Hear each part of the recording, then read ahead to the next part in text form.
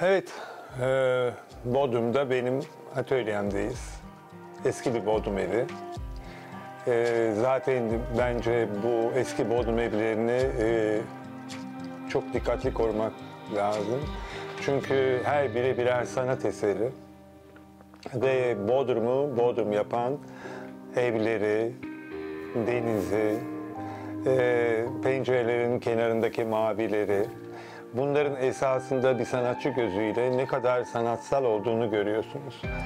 E, benim için Bodrum e, dünyadaki cennetten biridir, cennet yerlerinden biridir. Niye diye sorarsanız. Çünkü Bodrum Yarımadası binlerce yıl aynı zamanda sanata da hizmet etmiş Karya döneminden beri 6000 yıl önce.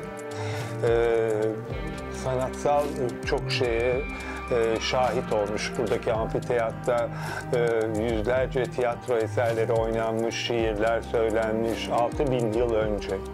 E, çok iyi heykeltıraşlar çıkmış.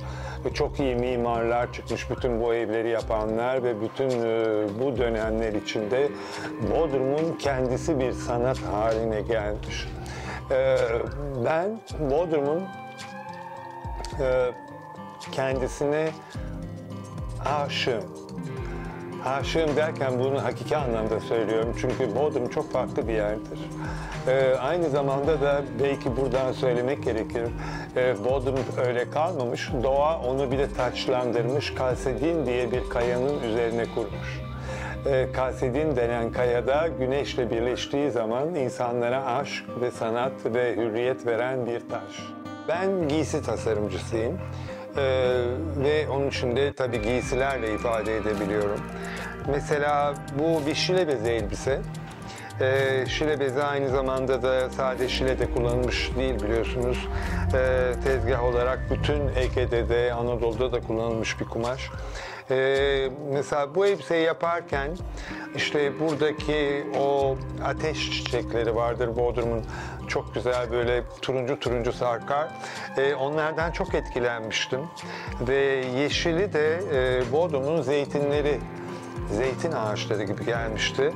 Morlukları da biraz begonvilin koyusu e, ve sanki dalgalar gibi bir drape ve Bodrum'un denizi seyrederken, Bodrum'un manzarasını seyrederken elimde olmadan böylesine bir giysi çıkarmıştım. Ee, ve işte mesela beni böyle etkilemişti.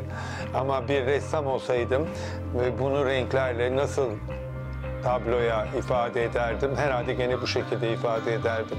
Şair olsaydım e, Bodrum'u nasıl ifade ederdim? Herhalde şair olsaydım sadece aşkla ifade ederdim. Heykeltıraş olsaydım muhakkak ki Bodrum'u e, dümdüz, somut ama bir yerinde mavi bir noktayla ifade ederdim. E, her sanatçının farklı ifade ediş şekli var kendine Bodrum'da. Bodrum kendisi bir sanattır ve sanatı barındırır ve siz buraya o sanattan parçanızı almak için ancak gelebilirsiniz.